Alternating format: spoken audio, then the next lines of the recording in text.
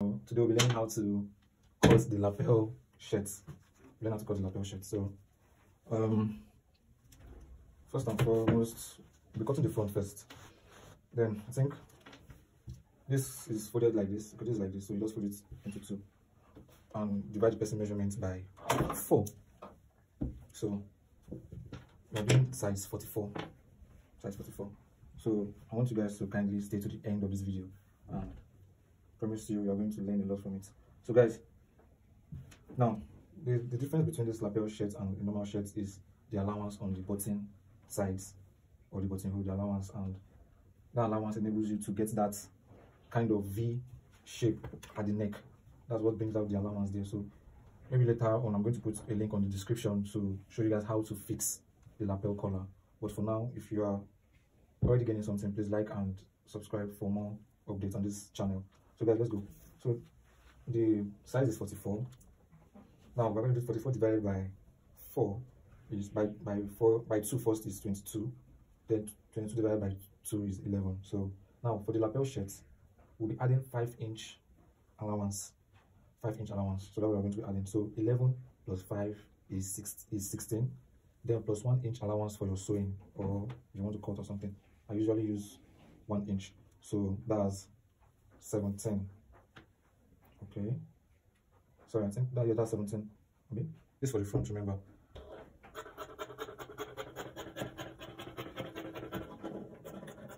I'm going to go for this front okay. So this is the this is the back. This is the back. So we have folded into two already. Then remember that the front we added five inch plus one inch sewing allowance. Now for the for the back what we'll be doing we'll be minusing that five inch. I remember we calculated 17 so we're minusing 5 inch and leaving the 1 inch. So we'll be having 12 inch. Now the back is always longer than the front with some inches with like 3 inch 3 and a half or 4 but since i'm doing a shirt i'll be using i'll be using three and a half. You can use three you can use four but i'm using three and a half. So guys this this already is already 12 this is already 12 so i'll just measure from here so that's 8 and that's eight and a half. So guys i want you to stay tuned to this video. You're to learn a lot from it. So that's eight and a half. If you're getting something you like share you know give it a, thumb, a thumbs up. You get. So i'm going to cut through now. I'm just marking it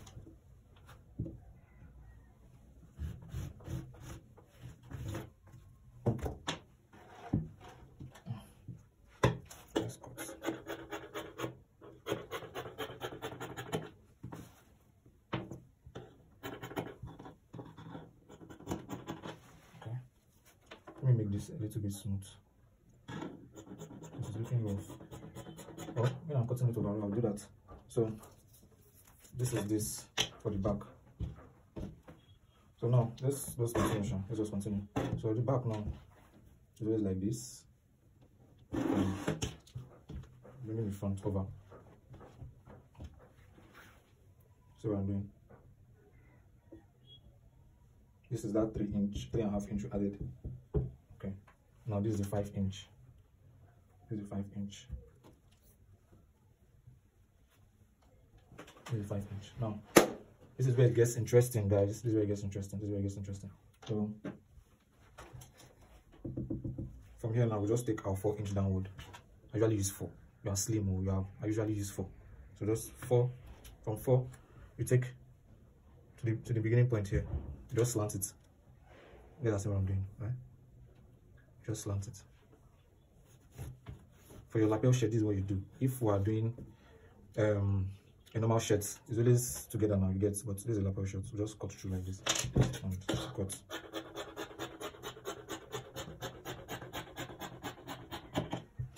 Okay that's it. Now take it down bring it down bring it down down down down down down down bring it down so there's no lights so we have to do the hand you know now. So let's go. So you just fold and you make sure like half from this material is touching the front. So do like this. Make sure half that's your sewing allowance. Now let's go. Now our shoulder measurement is 18 18 divided by 2 that's 9 half inch allowance that's 18 and a half.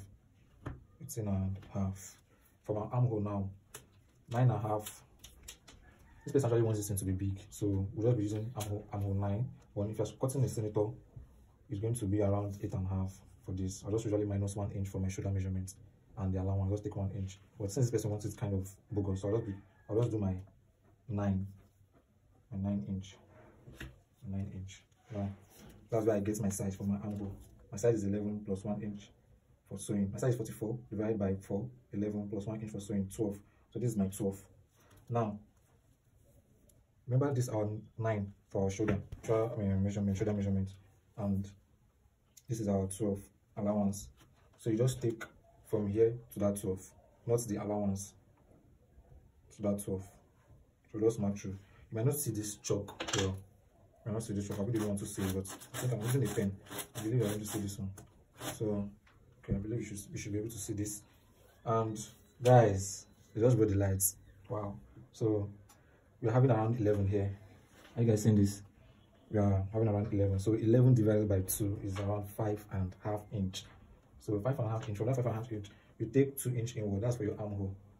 But you take two inch inward. So this is to avoid those wrong wrong parts the chest side. So guys we just connect the dots. Connect to here to here. So let's go.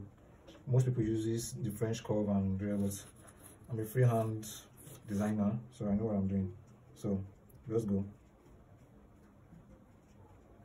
Yeah i've seen this?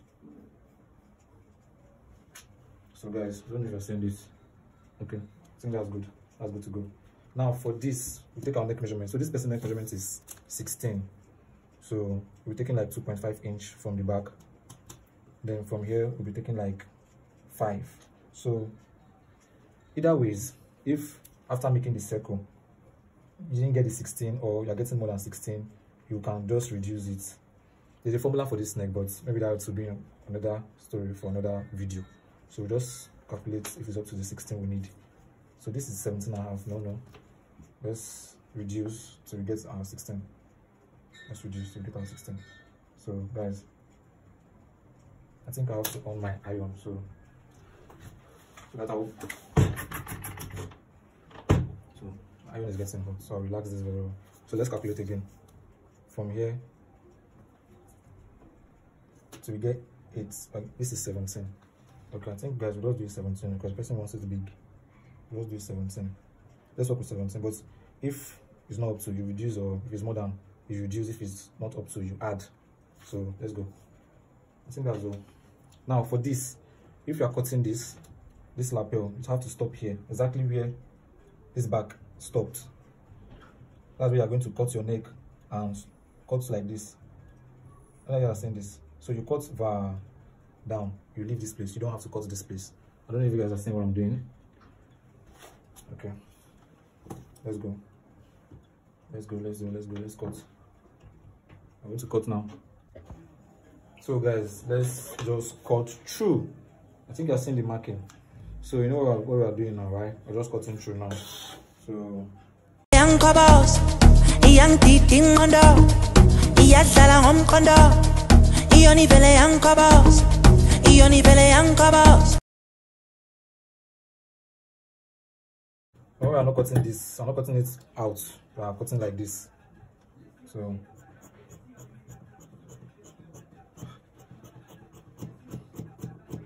think we're getting to our destination. Now, just cut out this. Sure, you're not cutting the back, oh, because you cut the back on your own. You explain tire. So, guys, so what I did. This is still flowing. it's still flowing. So, let's cut remember these are 12 so we're going to just trim it out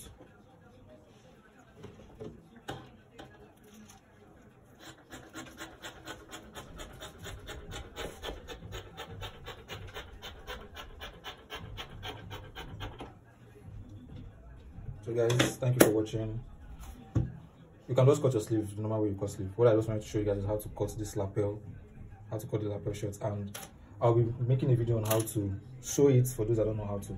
So guys, thank you for watching. If you get something, like, share, subscribe for others to learn too. Thank you.